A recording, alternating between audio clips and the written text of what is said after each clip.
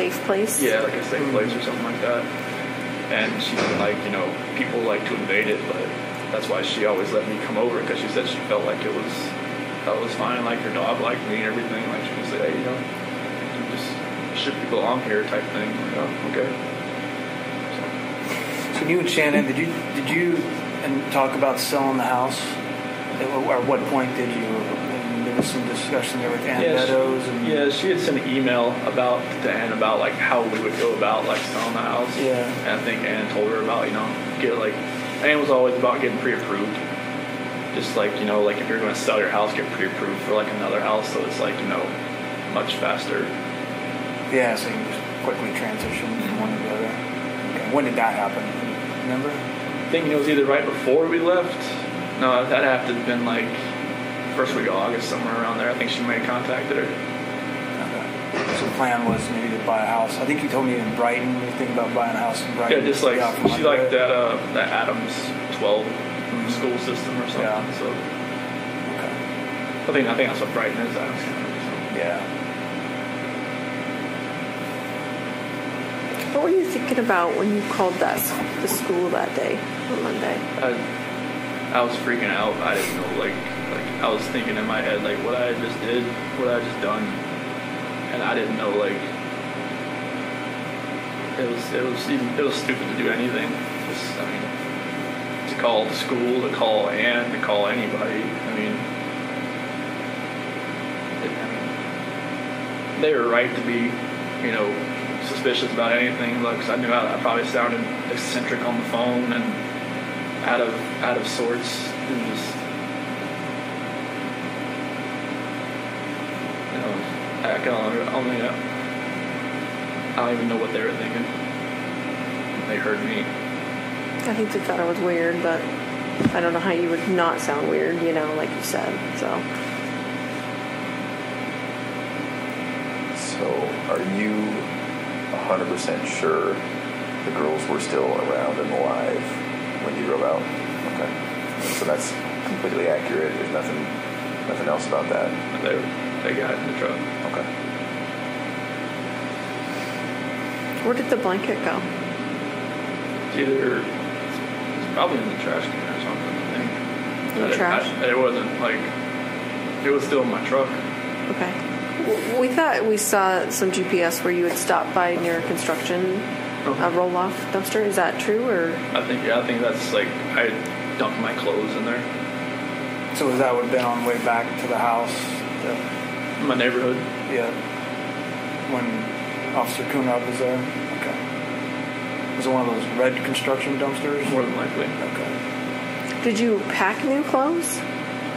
How did that work? I already have some in there because, like, in case we have like a spill or something. Oh. If you ever get crude oil on you, you don't. Yeah, I, had, I like I have like new I have like two pairs of boots, uh, all kinds of different stuff in there, just because like. Like just one time I had to clean up a spill and I had defrost on and I had like a headache for like two weeks because Oh. like the crude oil that comes it's bad. So I always have something in there. So where did you keep them after you took them off? Like, did you just change out there into your new other Uh, clothes? so like I, I dumped my clothes in that dumpster. but that wasn't that on the way back when you were coming. Like you'd already worked the whole day, Yeah. right? I work No. well. I worked like till like eleven or so. Eleven. Yeah. So that was back when, well, when Nicole Atkinson. Yeah, when she was at, Yeah, when she at my called. house hitting the doorbell, that's when I knew someone was at the house. Right. Did you think right then, like, oh fuck, like here we go, or what were you thinking then? I, I didn't even know why she was there. I was like, I didn't know, like maybe, maybe she had an appointment or something with Shanann. I, I didn't know. What did you think, like that day, like what you were gonna say? Like, what was your plan? Were you just gonna go home and be like, report to the police that your family's gone, or I had like once, like I had no idea what was gonna happen. Like after everything, I mean, I don't even know how I was even acting even normal to people that I was around. Because when like Troy and Cody and Chad and Melissa and all them, like, you know, when they showed up on the site, I don't even know how I was even being somewhat even coherent what I was saying. But apparently that understood me. So I, I didn't know what was going to happen. Like, like I said, I, this wasn't like something like some Criminal Minds type. Like well thought yeah, out. Yeah, thing. it wasn't nothing like that. You're just minute by minute at that point. Yeah, it was. I had no idea what, what was going on. So once the girls were, were gone, um, was it also just a minute by minute thing as far as the oil tanks? Yeah, I, I didn't know what what to do. I mean, I, just thinking about an oil tank just makes me want to throw up. Hmm. And was that just because it was in front of you and there it was and just presented itself? It wasn't a, a plan beforehand? Okay. Was there any reason why the separate ones? No, it's, it's like you said, it was like a going up, just going up the stairs, and it just didn't. No, like what Frank said is like I was trying to separate everybody. That's not. No. No, Yeah. I didn't want to separate anybody. What was the reason? I, I, I can't even tell you. It was like, like I said, like something else was in control of what I was doing, and it was like I was doing something I never thought I would ever do in my life. Mm-hmm. Did you think there would be less chance of someone finding them if they were in separate tanks or? I don't. Sounds like over there. I, I. I, whatever, whatever my reasoning was in my head that day, it wasn't, it wasn't sound. It, nothing was right. And you don't even remember thinking about it. No, it was just like it was like like a reaction of something that I wasn't even thinking about. Yeah. Can we talk about the trash bags? Do you remember that? Oh, with uh, There were two. oh, with okay, yes, trying to because like the she kept. I didn't want to like when when I was putting there's one coherent I guess thing I had like I didn't want the girls looking at Shanann while they were in the back seat. Mm. So what'd you do? I put a trash bag on one end and on her feet and on her head so they didn't have to see. And they were just too little to kind of figure out, right? Yeah, they didn't know what was going on. Okay. That's good. I just know, like, when I was driving up there, I mean, you know, they were just, you know, sitting there just, you know, kind of asleep or kind of just like, you know, holding on to each other, laying in each other's laps. You know, I, I didn't, you know, just,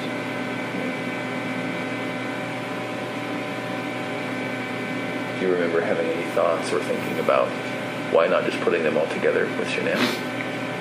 honest, honest, it was just happening so fast. I had no time to really thought that was my own. Okay. But I wasn't like dutifully trying to separate anybody Yeah. Mm. passing away, trying to keep anybody separate. And everything, everything, you know, Frank Sandy and Frankie said, you know, like I, I, I don't hold it against them. I mean, they can hate me for, they, they have a right to hate me for the rest of their lives. They don't hate They you. don't. In fact, while we're on the subject, I, I speak with them weekly, and, and I told them that we were going to come here and then hopefully would speak with us. And they told me to tell you, understandably, they're you know they're devastated, um, but they actually said that they they love you. They still love you, and and Sandy explained it. You know, our uh, son son-in-law for eight years. I can't just turn that off. So they don't hate you. They don't. That's amazing to hear that. Yeah. Well, and I can tell you, Sandy was was was the one that was most resistant to penalties in this case, and she said that she told me that from the very beginning. That she didn't want that. It's God's decision. It's not her decision. And then she told me that even then. So it's not just a one-time thing that, that she has said it to me. Um, it's been over the whole course of, of the event. So um, that's probably one of the most honest things someone's ever told me. You know, so that's it's pretty amazing. Uh, you know, faith is. Uh, you know, she's obviously a believer. So am I. I get it. So I understand it. You know, so, That's amazing to hear that. yeah. Good people. I would have, I would have figured they would have hated me for. They don't. I mean, yeah, anybody would think that. I certainly would have, but I, I have to admit I was surprised. really taken back by that, but they certainly don't. So. What did they say when they knew you were coming out here? Um, they just they said they want to know, you know, details because they need closure, and that's really all they want, and, and they want to keep it private. And I said, well, absolutely. That's you know, we'll talk to them about what you told us, and just so they can put it past them, you know, because they're having a hard time dealing with it and trying to get past it all. And um, and I think that may help, just to, you know, just to know. closures, closures, you know. I mean, my parents still think, you know, like I, I told them I pled guilty for a reason, Right. Right. and like I told it to them when they had that uh, video video phone thing in Colorado the day before. Like I pled guilty, like I plead guilty for a reason. Like I didn't just, you know, I knew other people were watching, so I didn't just go in and like just say anything. Mhm. like they seemed to take it like okay What and made you do that, Chris? What made you plead guilty? I didn't want anybody else to i didn't want them to go through this for two or four years. I didn't want my attorneys to lie for me for four for two to four years. Like they i mean they would have done anything i told them to do. Sure.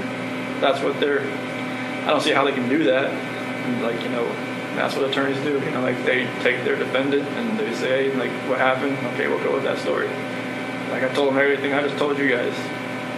And it's just like they just and they got together like well if you know if if they ever wanted they ever offered a plea deal would you ever want to like just plead guilty to i'm like yeah i mean if, it, if we can end this end it like i was like in september i told them that Really? yeah, they like, but you know, it was way too early, and prosecution was still doing their Yeah. investigating, still grabbing evidence and all kinds of stuff, and that wasn't even on really on the table. So I think it was in, like around Halloween. I think that's when uh, the prosecution went to went to Frank and Sandy and Frankie's house, and it's talking like, if we can end this, would you be open to that? And that's when like you know like the whole death penalty and everything, all that Right. conversation happened. And um, I guess they were surprised that it, it, it would just be over. Yeah. And We were all in shock. I'm not gonna lie. yeah, that was like It's like we were going 100 miles an hour, and then we just hit a brick wall. Like that's what it felt like to all of us. So I mean, obviously you had more time to. yeah. I mean, I, I mean, Contemplate it than yeah, us, I was. I, I mean, I told I told John, and Kate, and Sophia, and everybody, Amy, hey, is if, if we can just stop this and like, I know it's you know everybody's telling me to fight fight this. You know, there's no like. There's like I don't know, everybody's saying there's like not enough evidence to such and this this and that, and I'm just like no, I'm just like, this needs to end. Like I don't want people to have to because for Frank and everybody to have to fly back to Colorado every single time and get reminded of this. Like, I'm not sure it's never going to go away, but to actually to have to come and talk about it, have other people talk about it, have you know, all three of you get on the witness on the witness stand and say you know what they saw, Yeah. what they've seen. You know, what, what they, they heard on tapes and everything like that. It's just like I don't want people to relive that over and over and over again for for years. Like if I could just end this for everybody, and then like if there's any closure at all, they could, you know, they could start then instead of like in 2022. Right. You know, like you know, everything just like, 'cause I know it'd only get worse for everybody. So did it have anything to do with you not having the death penalty? No, like I mean, honestly, like when I was sitting in that cell, I felt like I should have died. I mean, I, I was listening to everybody telling me like, hey, if you do this and this, you can hang yourself in that cell. You could do this and that. You, They were like telling you stuff. Yeah, you they, could they, you could drown yourself in the toilet if you wanted to fill your toilet bowl up or something like that. It was, um, they've been there a bunch of times, and like you know, I was at one point I was listening to them. Mm-hmm. You know, I was just like, you know, you know, I just felt like maybe I could, maybe there's a different purpose for me somewhere. You know, maybe it's here. I don't know. Like I prayed to God every day that He would move me away from Colorado, like move me away from like the DOC there, because I just knew like 'cause they were saying there was a hit on me. they said if I was going to a DOC in Colorado, like I'd last a week and I'd be dead because of like the gangs and all that kind of stuff. Mm-hmm. So like I just felt like God moved me here for a reason. And I'll, you know, hopefully I can help people that way. But like, I didn't want my family, I didn't want Shanann's family, all of our friends, like, you know, having to go through that because after a while I knew it was like this stuff was everywhere, and I knew like all her Thrive friends, everybody that was just like it would just, it would just broke just that hole in their heart just a little bit bigger every time. I didn't want that. I knew it would have gotten worse. I didn't want it, I didn't want it to get any worse than it already was. Did you ever think about, well, you know, it could be very believable what I told him. It could be very believable that Shanann did, you know, end the girls. And so maybe if I tried to convince people that, maybe if I fought with my attorneys on that, maybe I could lessen it somehow. Did you ever think about that? Honestly, I never even thought about the story until you guys mentioned it. Yeah. You Okay. I wondered. I never even thought about it until you guys mentioned it. So what did you think about it once it got mentioned? It's just like I just went with it. Like, you know, I knew my dad was out there. I knew it was like, you know, I knew they would probably believe it because, you know, my mom and my sister just never really liked Shanann. I knew like, you know, I mean, through all this, like I got letters from some of my friends that even said, you know, you know, when we went over to your house, we could see, you know, Shanann was more of a dominant personality and more of like, you know, you know, you're always helping with the kids and everything. Just, you know, you're a great dad and everything. We could see, you know, couple things that I never saw or, you know, whatnot. And even my best friend Mark even said, you know, there's always, you know, something, you know, I didn't really get with Shanann. I was like, nobody ever told me any of this stuff, but okay. But yeah, it was, I never thought about that story. And, you know, that's what my attorneys were going with. Yeah. And then, like, I think it was probably the second week I told them, like, what had really happened. What did they say after that? They were quiet. They were writing it down. They were, they, did, they said they wouldn't judge me. So I told them. I told them everything that happened. And they, you know, appreciated, like, I guess, you know, most of the time, you know, their defendant or their, you know, defendants don't, like, tell them actually what happened. No. Yeah. They just, you know, tell them, all right, get, get me out, get me out of here. This is what happened. But I told them what happened. I, I didn't want them going, if this was going to go, like, anywhere in courts, I didn't want them to be under a false pretense and, like, get surprised. So I know, like, there was probably things that you guys probably knew that maybe if I if I just kept if I lied to them and just tell them no, this, this is what happened, that it would have like made them look you know foolish and stupid and just like you know unprepared. And I'm just like this is what happened, and they you know they appreciated me telling me telling them that. So now they they would be prepared, and that's when they were saying like you know if if it was ever, you know, if we ever went to them, the prosecution, say, if we could end this, would I be open to it? I'm like, if it could end, send it. I know there was like, um, wasn't her phone found on the couch or between the couch cushions? Like, did you plant all that I stuff? just threw it in there. You just threw it in Yeah, there. I- I- I why? was- Why did you do that? I, I don't know what was going on that morning. Like even like you know her watch, her phone. Like I, you know, if I was actually like if I'd planned this, I would probably just take it out to the field or something. You know. But, What you know, about her ring and stuff? What were you thinking about that? It's like you know, maybe she wanted, maybe she actually really wanted a divorce. Maybe she didn't want to fix it. Just put it there on the counter. She took it off, or did I- you I- take it off? I took it off. Okay. Oh, so that would look like she was saying, "I want a divorce. I'm leaving it here when I'm taken off." I see. So the phone and her watch and, and the couch was that that morning before you left to go to service. Okay. Yeah, 'cause I think uh, Nicole's son found it or something. Yeah. What other things did you do that maybe we even missed? Tried the phone and the watch. I, mean, I, I think I threw the therapy book she wanted me to read in, the trash. I don't know. That was that morning. I probably, I think so. Were you trying to make it look like she threw it in the trash? I don't, I don't know. I just like, Oh. I, I just didn't think it was, nothing was ever going to work again. So I didn't know what was going on. Did you go down to the basement? I thought the basement door open. Yeah, the door is open, but yeah. So there was a lot of movement. You know, I think it was around 426 or something. And, and the garage door opening, the basement door opening, and then of course the living room sensors and all. Do you remember what you were doing all during that time? Other You had a lot of in and out steps. the. I'll just say that. Okay. so like the basement, I'm not sure. I mean, the only thing I really have down there is my workout, my the bench press. Do you remember going down there for anything or opening that door for anything? Did you think about, well, maybe I'll take her out that way or is it a walkout basement? No. It wasn't at your house. No, Okay. it's like a garden level basement. So Okay. But no, I don't remember really. I'm. What's that? Uh, I don't think I worked out that morning. Like, were you packing your lunch in the kitchen? Like, did you Oh, have to do all that normal Yeah. stuff? Yeah. Okay. Yeah, I definitely I packed the lunch and everything.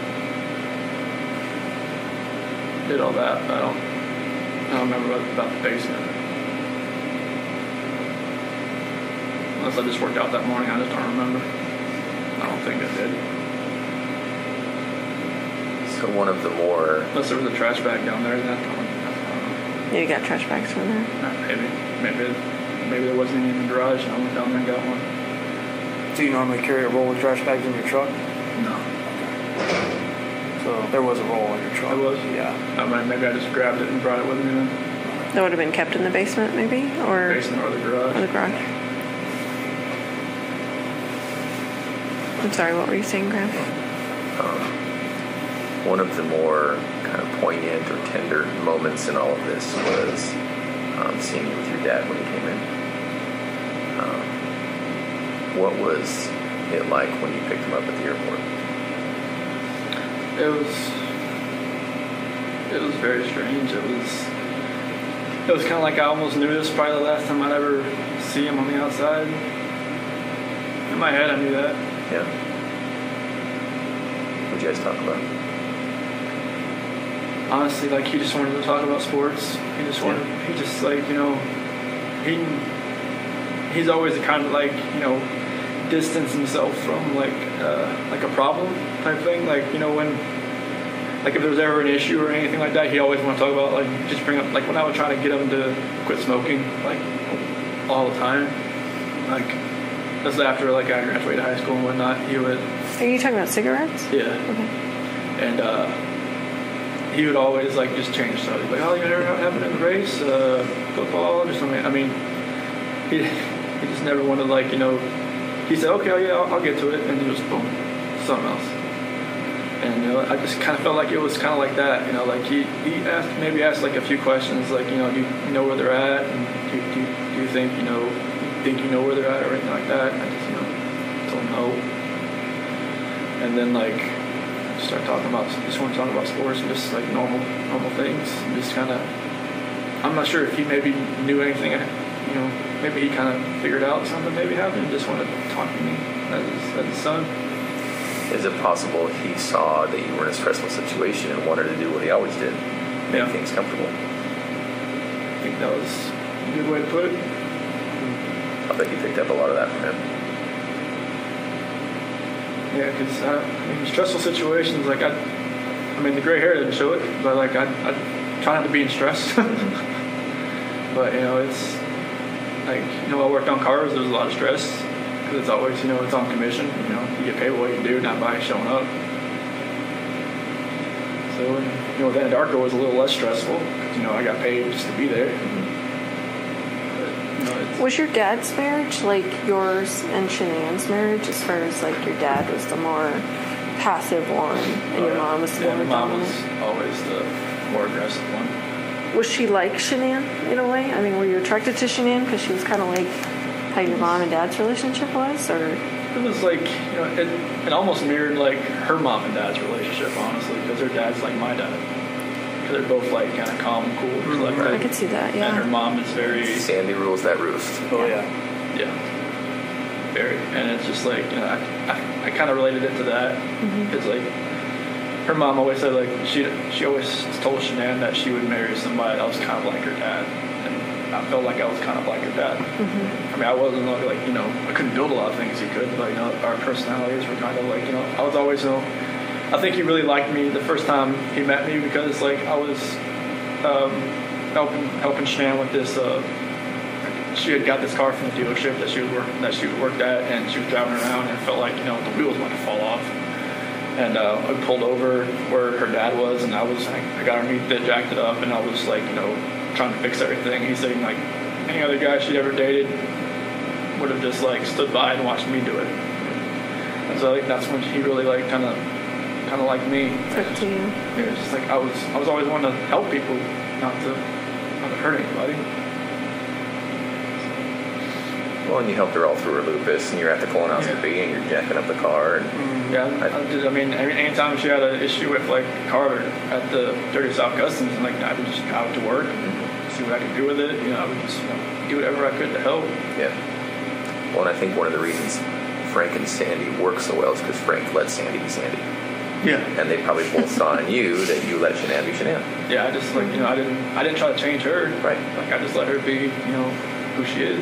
Yeah. She's like, you know, she's gung ho. She's, Yeah. you know, she knows what she wants. She's gonna go get it. Yeah. And I didn't say, hey, you know, you can't do that. And that's what her first husband did. Yeah. She he controlled everything. He he tried to be Sandy, and it didn't work. And she and she turned into almost like me.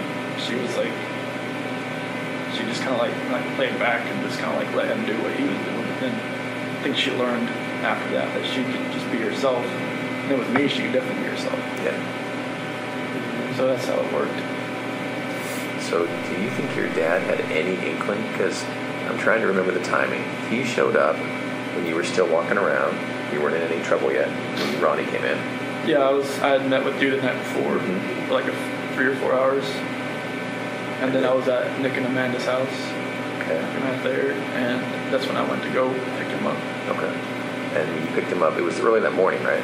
He was like 10:30, I think, when his flight came in. Okay. And then so from there, you, I, you guys probably drove home and then to the police station. Yep. And the, the talks there were no type of confession from you. Okay. No, it was like he just he was just gonna wait. Okay. I told him like you know if you're hungry, just there's like that barbecue joint down the street, Yeah. and like you know good. And just, you know, he told me he never left. He didn't. I wasn't lying. Yeah. He was faithful. He was. Yeah. I mean, I, I don't know how he lasted that long without food. We ended up giving him food. Yeah. Oh, okay. Yeah. He, uh, he was great. Um, and the reason I ask is because when I look back and watch the video, um, now knowing what I know after talking to you today, I can see how genuine he was. But I just didn't know if you guys had come up with some sort of plan. Okay. No, he, he, we never talked about anything Okay. like that. I don't, I, if I had told him anything, he would have probably just told me to just tell them right away. I think you're right. Like, he would have still loved me either, either way, but he would have told me you need to tell them Yeah. like right now. Yeah. Like, you don't need. I mean, I didn't think I was going to be there for 14 or however long it was, like 10 hours, however long I was there that day. You were there a long time. Yeah, but it was. He would have told me just to say, just, just to tell you. Yeah. Did you know walking in there that you were going to tell us? Or did you think, I didn't. I mean, I knew there was a reason you brought me back in. I know well for the. Um, what'd you think about the polygraph? that was horrible. Why did I you say that? I don't know how you do that. Why do you say that? Because Tammy's a torturer. I'm not. No, like, I mean, Tell you, me. you answered. Oh, you asked me questions for like well, like three or four hours beforehand, and then you do the polygraph, and it's like you just break down somebody's brain to where like Too it's like much too, or too what? much. Jello, and it's just like I. I know it's it's you guys have a job and you have a plan, and that's you executed it. She's thorough, right? There's just no, there's Yeah. no way to get out of there without the truth. No, I mean, I, I kind of knew like where, because right when I he asked me about like Saturday night, the when I told you about the walking, I was like, man, she was like going through her head. And I was like, fucking. Well, we did know, we found out about Nikki right before the polygraph. I, I, I figured that out after after with meeting with John and everybody that Yeah. she had met with somebody from the CBI, mm-hmm. like the like on the 14th or the 15th. I was just like, they were talking. Oh, okay. So you already knew. So, but I mean, I didn't know how extensive it was, but yes, we, we knew. yeah, I, I mean, I walking in there that day, just walking into that room, I knew I wasn't walking out. yeah, Just just the feeling I had walking in that room. yeah. Just seeing, all, I mean, I don't remember if the polygraph stuff was already in there. I think it was. It but- was, yeah. but it was I knew I. I just felt I just feel like sometimes when people, you know, do do the bad thing, and they stay, like some part of me thinks, well, I think they're here because they really want to tell us what happened. Because it's not normal that you want to keep all that in. Like that just kills people on the inside, and I could tell it was killing you that day. Yeah, I mean it was just like that. Thirteenth when I slept in the house, I did nothing. I didn't. I don't think I slept maybe like two hours because I just finally just got so tired. I just fell asleep. I turned. I had every light on. I didn't. I nothing felt right. What were you thinking about during your media interviews? I didn't want to do it. Why did you do it? Did you feel like you had to do it? I felt like you know they would have just kept knocking on my door if until I answered it. And like I didn't even set it up, but you know Nicole Atkinson set it up. She told me, "Hey, Fox Is is she the gonna." one who set it up? She said Fox is gonna be at your house at ten thirty. I'm like what? Like okay.